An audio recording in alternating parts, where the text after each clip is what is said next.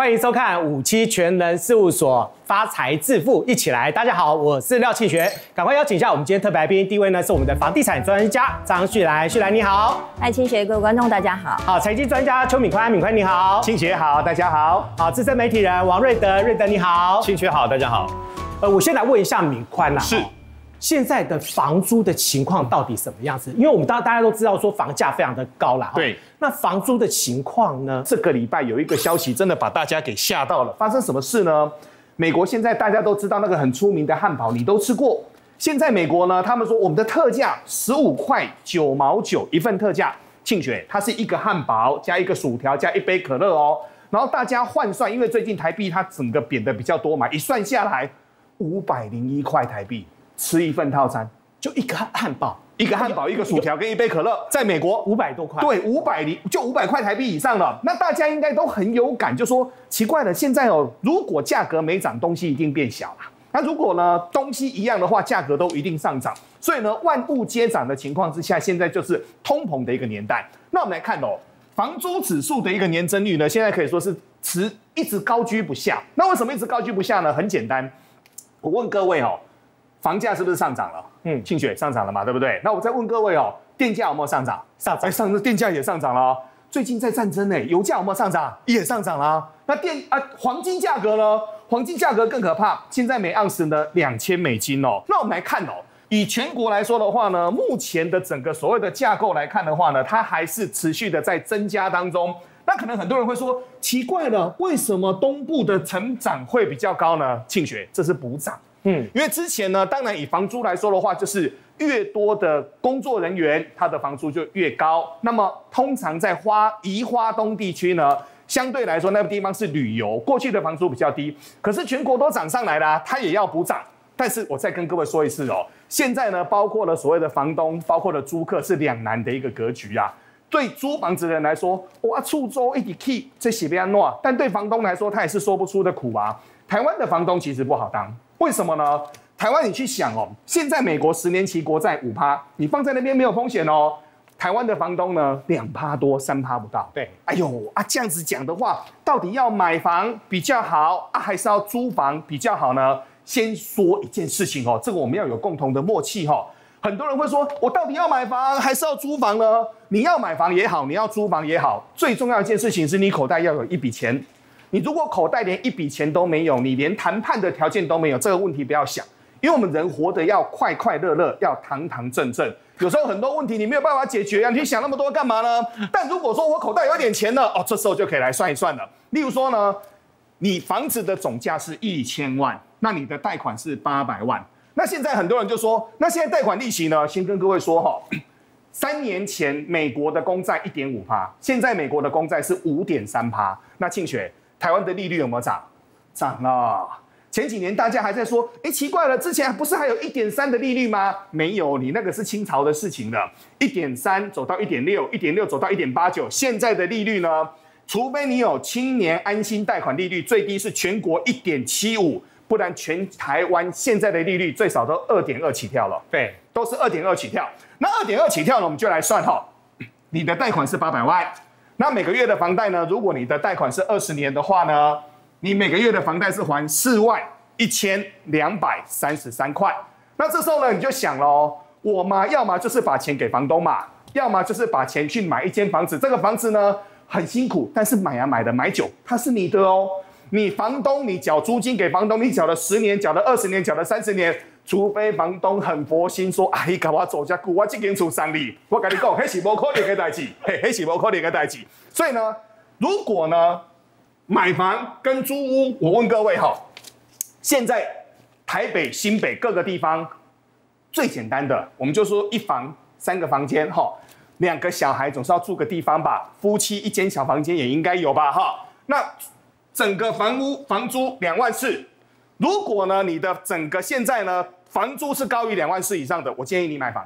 建议你买房，为什么？你说三房的吗？对，就简单的三房的，这个已经不好租了。三房两万四应该很不好租。先说不好租，真的很不好租。那如果呢是低于两万四的呢？哇，房东对你很佛心，我建议你就继续租。那为什么呢？继续让你的口袋钱变多。还是一句话哦，你口袋一定要有资本，你才有办法谈判。你口袋没资本，连谈判都没有办法谈。那很多人会说，二十年啊，现在政府不是说可以贷款三十年吗？当然也行。你要让银行赚更多的钱，这个也是可以。你如果是一样贷款八百万，那现在呢，贷款三十年的话呢，一个月是还三万三百七十六块。那这时候呢，很简单，你的换算标准呢，大概是抓六成左右。所以呢，你只要高过一万八，我建议你买房；但是如果说低于一万八，我建议你租。但现在先跟各位说哈，现在很多高级的套房。可能就一万五、一万六，加个车位，可能就要这个价了。所以呢，就看你能不能够租到一个便宜的一个房子，你的幸福人生才能够往前走。好，来第一件事情的话，你口袋必须要有一笔钱哈。这笔钱的话呢，是你的头七块。如果一千万的房子的话，你最起码要准备两百万。啊，那你有两百万了以后的话呢，你要考虑一下哈，你自己的所得呢，是不是能够符合买房子的一个条件？如果你买房子的话呢，是造成压力的话，那你可能要好好的考虑一下，你是不是要租房子哈？那么呃，尤其是政府现在对于租房子的话呢，其实房客的话有很多的补贴的一个方式哈，包含呢政府呢推出了三百亿的一个呃优惠的一个补助的呃这个条例哈，就是三百亿的资金的话呢，让有一些民众的话呢，他可以去申请。那他希望呢，能够有五十万户哈，能够注入到五十万户的一些弱势族群里面哈。但是现在的话呢，政府呢也希望呢补足社会宅不足的地方哈，希望能够呃推广这个所谓的包租代管。我看看光是这半年来的话哈，很多的房东呢就加入了包租贷款。对啊，因为其实蔡蔡总统他就希望嘛，他八年可以有二十万户的这个社宅的供给。对。可是二十万户你要光自己盖哇，那盖到。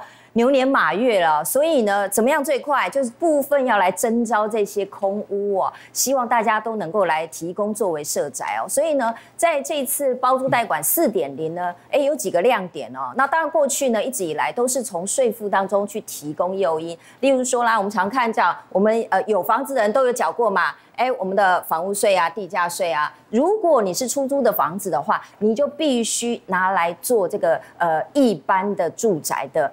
呃，这个费率，但是你如果参加这个包租代管的话，你可以归为自用住宅，它的税率呢就会比较低。然后再来呢，你的综合所得税，你如果是房租的收入呢，你是不是每一笔收入照道理是要缴税啦？我们台湾其实很多老房东他们是不习惯缴税，但是政府为了鼓励你哦，现在你千万不要怕，你是缴税，为什么？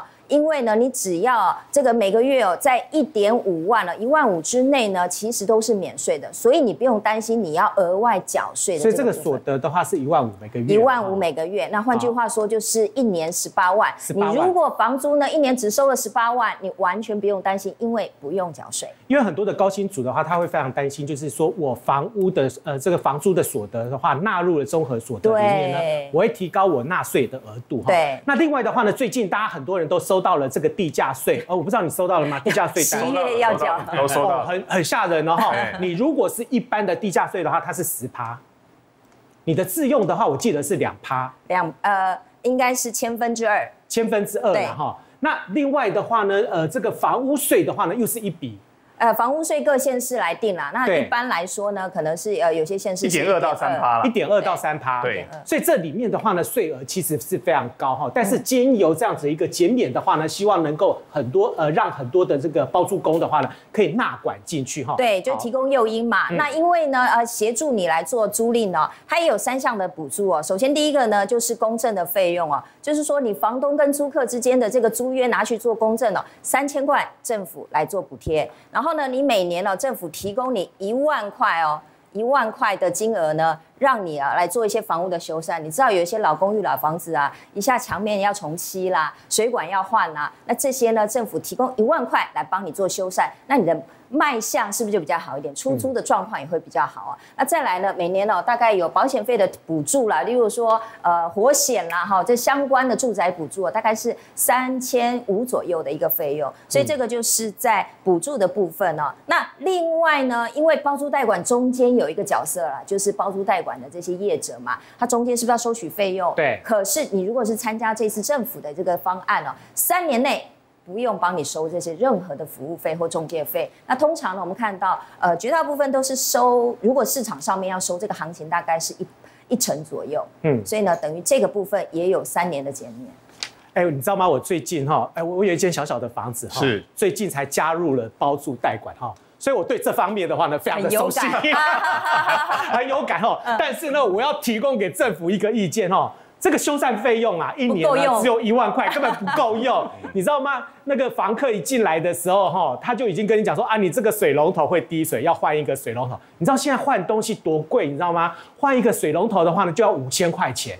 然后呢，你知道吗？那个浴室的那个塑胶条，他说，哎，你洗澡的时候水会漏出来哦，你塑胶条要坏掉，你知道换一个塑胶条要多少吗？要三千块钱。啊，那个 key 掉了这样，八千块啊，你敢怎样？结果呢，然后哎，他进来的时候，他说啊，你冷气要帮我洗一下，你知道两台冷气洗下来要多少钱？要五千块钱。差不多对。加起来就超过了这个修缮费用了，所以这修缮费用的话呢，一万块钱根本不够用。好，但是呢，这里面的话呢，有一个保险的费用，我觉得这很好。包租代管业者的话呢，帮你保了这个险。对，这个这个险里面的话呢，除了有火灾险之外呢，还有什么险？还有一个很特别的险，地震吗？险你猜不到，什么险跌价损失险。啊？他连这个都有帮你保，什么是叠价损失？就房屋贷款，因为你租了房子之后折价了，他帮你补上来。那为什么会折价？凶宅呀，哦他就是担心说，如果房客住在这里面的话，如果发生了什么事情，你的房价如果跌价的话呢，这个保险可以帮你支付。可是这个额度的话呢，也不高，好像我记得可能是两百万左右嗯啊。所以这地方呢，其实呢，政府跟包租业者也都帮你想到了。另外这三年的一个服务费，也就是说，你的房东实际上是谁？包租业者。对你的房客你的房客是包租业者，对包租业者用多少的钱呢，把这个房子呢租给外面的民众呢？弱势族群呢，它是用八折。对市价八折的概念，好，这个又出现了一个问题哦，我问一下敏宽哈，现在呢，外面的市场行情呢，一间房子的话呢，租金是两万块钱，是你租给了包租代管业者呢是八折，一万六，一万六嘛哈，好，一万六就变成了什么？定价了。OK，也就是说，这三年来的话呢，你的房租的定价呢就定在那边了。是未来的话呢，这个房租呢涨跟跌的话呢，跟你包租业者是没有关系的。是，但是问题是说，你的房价或者是租金的话，会不会下来？不会啊，就不会下来了。所以包租代管有一个对房东来说有一个好处，这些啊很复杂的事情啊修缮，他可以先帮你去处理。对而且呢，你要想想看，如果他没有租满一年十二个月，中间有空置，其实对房东来说，你还是稳拿十二个月，即使它是市价的八成，对但是你还是稳拿。它等于是说你少掉了那个空屋等待期，所以你这一边的话呢，其实是补过来的。对。但是对于房客来讲的话呢，其实呢，房客呢还有一个优点，就是说我可以去跟政府申请什么？申请五千块钱，哎，是多少啊？有两千到八千的2000块钱就是租屋补助嘛。各县市不同啊。对你如果是有条件的话呢，希望电视机前面的观众朋友们不要放弃这个机会哈，这个呢是政府给你的福利。那你如果是有这样子一个条件的话，赶快去跟政府申请，因为有两千块到八千块。像我的租客，我就知道说他去跟政府呢申请了多少，申请了五千块钱，也就是说呢，他两万块钱的话呢，已经打了市价的市价的八折了。然后呢，再扣掉五千块钱，你看这个房子的话呢，它一万五，它其实就租到，实际上它一万五就可以租得到。所以政府对于租客现在呢有给予很多的优惠的一个方式的话呢，你们要善加利用。好，这样的情况之下呢，租金也定在那边了哈。那你也跟政府申请了钱哈，你说房价会不会下来？其实然后呢，租金的话呢会不会下来？哎，这是一个很大的问题。其实以台北，尤其是台湾的这个整个房价的情况来讲哦，它的租金啊、房价一直都是往上成长的。其实大家常常看到新闻讲说，连续一百个月、两百个月都没有下降而，是而且是持续上调，这就是反映出来我们台湾的一个市场啊。但它其实某一种情况，它其实也反出反映出来的是，包括我们的屋主他的持有成本是。不断的上涨的，对刚才提到了工料双涨啊，修这个修那个，很容易就破就就不够用了，一万块不够用哦，所以呢，呃，他也是去让很多租户族会觉得说，哇，真的是很辛苦。好，其实呢，政府的话呢，呃，因为呢看到这个房价高涨的一个问题的话，还有呃衍生出了很多一个社会问题哈。呃，房价高涨的情况下，我相信有很多的弱势族群的话呢，他们其实居住的一个环境的话呢，其实就充满着一个危机了。对，没错。那么事实上呢，这是台湾社会一个悲哀，为什么呢？越低层越底层，那么它的这个租屋环境，不要说购屋了，租屋环境是不是越差啊？那这个案子发生在二零二一年的十月，是著名的高雄城中城的这个火警啊。那么因为按照我们啊这相关的这个规定呢，三四十年以前的大楼是没有强制你可以成立这个所谓的管委会哦。那这就是一个很大的一个例子啊。这是因为那么住在这栋大楼后边的这个啊有一个女生叫做黄格格，跟她的男朋友吵架，男朋友跑出去了以后呢，她一气之下就把这个拿那个烟灰缸里面的烟灰什么东西往沙发上一倒，跑了。跑了以后呢？那么为什么这样讲呢？因为她男朋友曾经之前跟她吵架说，你有本事把我房子烧了。事实上，她男朋友也是借住人家的房子，所以呢，结果呢，起他人跑了以后，这个这个地方过了十五分钟，他开始起火了。起火了以后呢，那么城中城它是一个老旧的相关的大楼啊，它没有管委会，没有人注意的情况下，火就起来了。结果要命的是，这个大楼也因为这样，所以它的安全门的铁门拆掉。结果烟囱效应，就火警呢，那么往上烟囱效应就是沿着你的管线间，沿着你的楼梯间，沿着你的电梯间，甚至有些电梯门都拆掉，就往上冲了以后呢，一到六楼很多住户逃出来，但是。那么在七楼以上很多住户呢，因为这样浓烟就逃不出来了，以后最后造成了四十六个人死亡的一个悲剧惨剧，这是台湾那么在单一火警里面死亡人数第二多的一起悲剧啊，也是因为这样子可以凸显了那么很多的弱势群、如族群，尤其是老年老人家。那么他租屋的时候，他安全的问题，所以后来马上哦，这个这个地方后来当然城中城没有办法再使用，所以拆掉变成一个公园。但是全呃高雄大概另外三十四栋的这样类似的大楼呢，全部体检，全台湾各地也都进行一个体检的一个一个行动就对了。其实全台湾很多这样子没有错，这种因为而且这这种房子的话是早期做的那种集合住宅，很危险，它设计并没有错，而且很危险。为什么特别讲到这个地方呢？因为呢，在我过去跑的新闻里面。各位大概想象不到，很多地方像文山区过去啊是公家的，那个房子一进去以后，隔成一小间一小间一小间。那么啊，这个香港跟北京都有所谓的单单单房啦、鸽子房啦，对不对哦？真的很小很小。那在我们台湾呀，比如说台北市闹区好了，一个公寓，那么它隔成一个一间公寓隔成十二户，十二户里面一平。一户平均不到两平啊，一个月五千块租给谁？结果七十五岁以上的老人家。那么这些老人家他靠一些啊社会的补助嘛，就有政府的补助，比如说一个月七千块来来缴这五千块的房租，还有其他的善心人士，还有一些机构。那么他因为这样过得很苦，可是问题来了，因为他没有钱，没有钱他租不起好的房子，所以呢，那么他也只好啊一个人或两个人，就就就像我们看到的一个木板床这样子，那顶多了不起还还。已经很难的了不起，在一个衣柜哦，那他这样就住在这个地方。我以前跑新闻的时候，文山区就有很多这种的房子。对，然后呢，那么这样的房子为什么这样？我跟你讲坦白，刚刚这个庆学刚刚讲啊，当你年轻的时候你不买房，老的时候你不要以为说我就不买房，因为很多年轻人说我就先享受嘛，我就买车子，我就买那个手机干嘛，我就不买房，就租房子。等到你年纪大的时候，尤其是单呃单单人的时候呢，你到了七八十岁，你很难租得到房子，因为房东怕发生意外，发生意外很可能造成他的房子不好租或是不好住啊，不好就卖出去，所以呢，那么越年纪越大，反而会面临到这样的一个弱势的一个问题啊。你知道，不是只有我们台湾房价在涨啊，有人说台湾房价涨成这个样，我太太的同学呢，高中同学啊。到在洛杉矶啊，这个定居在洛杉矶啊，他的房子本来这个大概是你绝对想象不到，一个月是租大概是啊一千多啊美元，那么一个月嘛，突然间他心里想说啊，刚好房啊房客啊退租了，所以在疫情期间退租了，他后来就想说，那么我那我把它翻修好了哈，翻修以后再租，结果呢，他本来打算租两千美元一个月，谢谢，你知道他最后租多少？租多少？他后来竟然有啪的几十组的人全部都到。几十户全部都到以后租三千美元，那三千美元一个月，他本来只想租一千出头的而已，他三千美元一个月一个月，而且还一堆人来。现在因为这样，洛杉矶有一万五千人是以车为屋，以车为家，因为他租不起房子，所以他就弄一个露营车啦，弄个房子这样子。